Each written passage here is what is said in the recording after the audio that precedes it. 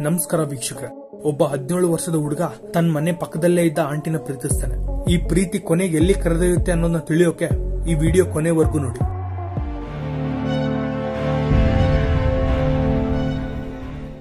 Cinema ಶುರುವಾಗ್ತಾ ಶಾಲೆಯಲ್ಲಿ ಕೆಲ ಹುಡುಗರು ಜಗಳವಾಡ್ತಿರ್ತಾರೆ ಅದರಲ್ಲಿ ಆಡಮ್ ಅನ್ನೋ ಹುಡುಗ ಕಾಣಿಸ್ತಾನೆ. ಆ ಜಗಳದಲ್ಲಿ ತನ್ನ ಹಲ್ಲು ಮುರಿದೋಗಿರುತ್ತೆ. ಅಲ್ಲಿಂದ ಆಡಮ್ ಮನೆಗೆ ಬಂದು ಗಮ್ ಉಪಯೋಗಿಸಿ ಆ ಹಲ್ಲ ಮತ್ತೆ ಅಂಟಿಸ್ಕೋತಾನೆ. ರಾತ್ರಿ ತಾನು ಊಟ ಮಾಡ್ತಾ ಅಶ್ಲೀಲ ಮ್ಯಾಗಝಿನ್ ನೋಡ್ತಿರುವಾಗ ಕಿಟಕಿಯಿಂದ ಪಕ್ಕದ ಮನೆಯಲ್ಲಿರೋ ಒಬ್ಬ ಮಹಿಳೆ ಕಾಣಿಸ್ತಾಳೆ. ಆ ಹುಡುಗಿ ನಗ್ನವಾಗಿರೋದ್ನ ಆಡಮ್ ನೋಡ್ತಾನೆ ಇದ್ಬಿಡ್ತಾನೆ. ಇದನ್ನ ನೋಡಿದ ಆಡಮ್ ಮನಸ್ಸಲ್ಲಿ ಪ್ರೀತಿ ಶುರುವಾಗುತ್ತೆ.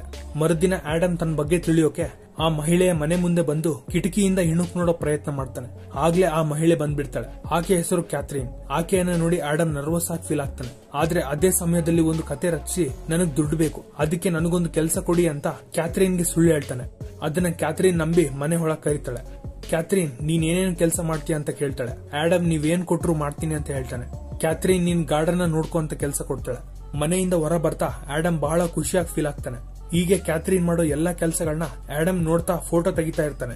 ಹೀಗೆ ಒಂದಿನ ಕೆಳಗೊಂದು ಕಾರ್ ಬರುತ್ತೆ. ಆ ಕಾರಿಂದ ಕೆಲ ಬಾಡಿ ಗಾರ್ಡ್ಸ್ ಕೆಳಗೆ ಇಳಿತಾರೆ. ಅಲ್ಲಿಂದ ಒಬ್ರು ಕ್ಯಾಥರಿನ್ ಮೀಟ್ ಆಗಿ ಕಿಸ್ ಮಾಡ್ತಾರೆ. ಅವರು ಯು ಎಸ್ ಪ್ರೆಸಿಡೆಂಟ್ ಆಗಿರ್ತಾರೆ. ಆದ್ಮೇಲೆ ಅವರಿಬ್ರು ಮನೆ ಒಳಗೆ ಹೋಗಿ ಇಂಟಿಮೇಟ್ ಆಗ್ತಾರೆ. ಆಡಮ್ ದೂರದಿಂದ ಇವನ್ನೆಲ್ಲ ವೀಕ್ಷಿಸ್ತಾ ಬಹಳ ಬೇಜಾರ್ ಪಡ್ತಾನೆ. ಮರುದಿನ ಇಬ್ರು ಗಾರ್ಡನ್ ಅಲ್ಲಿ ಕೆಲಸ ಮಾಡ್ತಾ ಕ್ಯಾಥರಿನ್ ನಿನ್ನ ಸಂಜೆ ಹೇಗಿತ್ತು? ಅಂತ ಆಡಮ್ ಕೇಳ್ತಾನೆ. ಆಗ ಕ್ಯಾಥರಿನ್ ನಿನ್ಗೆ ಇದೆಲ್ಲ ಹೇಗ್ ಗೊತ್ತು? ನಿನಗೆ ಯಾರು ಹೇಳಿದ್ರು? ಅಂತ ಕೇಳ್ತಾಳೆ. ಆಗ ಆಡಮ್ ನಾನೇ ಎಲ್ಲ ನೋಡಿದ್ದೀನಿ ಅಂತ ಹೇಳ್ತಾನೆ. ಆಗ ಕ್ಯಾಥರಿನ್ ಆತ ನನ್ನ ಒಳ್ಳೆ ಫ್ರೆಂಡ್ ಅಂತ ಹೇಳ್ತಾಳೆ. ಆದ್ರೆ ಆಡಮ್ ಜಲಸ್ ಆಗಿ ಫೀಲ್ ಆಗ್ತಾನೆ. ಆಗ ಮತ್ತೆ ಆಡಮ್ ನಿನ್ ಮಗ ಹೇಗಿದ್ದಾನೆ? ಅಂತ ಕೇಳ್ತಾನೆ. ನನ್ ಪರ್ಸನಲ್ ವಿಷಯಗಳನ್ನ ನೀನೇ ತಿಳ್ಕೊಂಡಿದ್ದೀಯ ಅಂತ ಕ್ಯಾಥರಿನ್ ಕೇಳ್ತಾಳೆ. ಆಗ ಆಡಮ್ ಅಷ್ಟೇ ಅಲ್ಲ, ನಿನ್ ಬಗ್ಗೆ ನಮ್ ಪೇರೆಂಟ್ಸ್ ಎಲ್ಲ ಹೇಳಿ ನಿನ್ನ ಹತ್ರ ಹುಷಾರಾಗಿರು ಅಂತ ಕೂಡ ನಮ್ ಪೇರೆಂಟ್ಸ್ ಹೇಳಿದ್ದಾರೆ ಅಂತ ಕ್ಯಾಥರಿನ್ಗೆ ಹೇಳ್ತಾನೆ. ಆಗ ಕ್ಯಾಥರಿನ್ ದುಃಖದಿಂದ ಅಲ್ಲಿಂದ ಹೋಗ್ಬಿಡ್ತಾಳೆ. ಮರುದಿನ ಆಡಮ್ ಮತ್ತೆ ಕೆಲ್ಸಕ್ಕೆ ಹೋದಾಗ ಕ್ಯಾಥರಿನ್ ಹಸ್ಬೆಂಡ್ ಬಂದು ಅವನ್ನ ಹಿಡ್ಕೊಳ್ತಾನೆ. ಆಗ ಆಡಮ್ನ ಕ್ಯಾಥರಿನ್ ಮುಂದೆ ಕರೆದೊಯ್ತಾನೆ. ಅವರಿಬ್ರು ಆಡಮ್ ಕಣ್ಮುಂದೆಯೇ ಜಗಳವಾಡ್ತಾರೆ. ಅವರಿಬ್ರು ಡೈವರ್ಸ್ ಆಗಿ ಬಹಳ ವರ್ಷಗಳು ಕಳೆದಿರುತ್ತೆ ಅಂತ ನಮ್ಗೆ ಅರ್ಥವಾಗುತ್ತೆ. ಆದ್ರೆ ತನ್ನ ಹಸ್ಬೆಂಡ್ ಆಕೆನ ಇನ್ನೂ ಲವ್ ಮಾಡ್ತಿರ್ತಾನೆ. ಆದ್ರೆ ಕ್ಯಾಥರಿನ್ ಒಪ್ಕೊಳ್ಳಲ್ಲ. ಆಡಮ್ ಕೂಡ ನೋಡದೆ ಅಲ್ಲಿಂದ ಹೋಗ್ಬಿಡ್ತಾನೆ. ಕೆಲ ದಿನಗಳಾದ್ಮೇಲೆ ಯು ಎಸ್ ಪ್ರೆಸಿಡೆಂಟ್ ತೀರ್ಕೊಂಡಿದ್ದಾನೆ ಅಂತ ವಿಷಯ ತಿಳಿಯುತ್ತೆ. ಆಗ ಆಡಮ್ ಕ್ಯಾಥರಿನ್ ಮನೆಗೆ ಹೋಗಿ ನೋಡಿದಾಗ ಕ್ಯಾಥರಿನ್ ಬಹಳ ದುಃಖಿಯಾಗಿರ್ತಾಳೆ. ಆಗ ಆಡಮ್ ಸಮಾಧಾನ ಮಾಡ್ತಾ ಆಕೆನ ಕಿಸ್ ಮಾಡ್ತಾನೆ.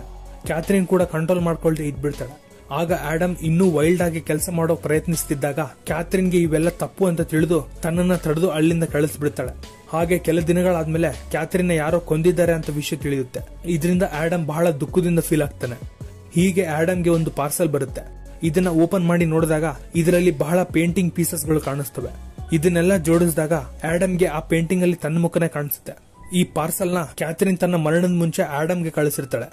ಈ ಪೇಂಟಿಂಗ್ನ ನೋಡಿ ಆಡಮ್ ಭಾವುಕನಾಗ್ತಾನೆ. ಇಲ್ಲಿಂದ ಅರ್ಥವಾಗೋದೇನೆಂದ್ರೆ ಕ್ಯಾಥರಿನ್ ಕೂಡ ಆಡಮ್ನ ಪ್ರೀತಿಸ್ತಿರ್ತಾಳೆ. ಈ ಸೀನಿಂದಲೇ ಈ cinema ಕೊನೆಯಾಗುತ್ತೆ. Thank you for watching. Jai Hind.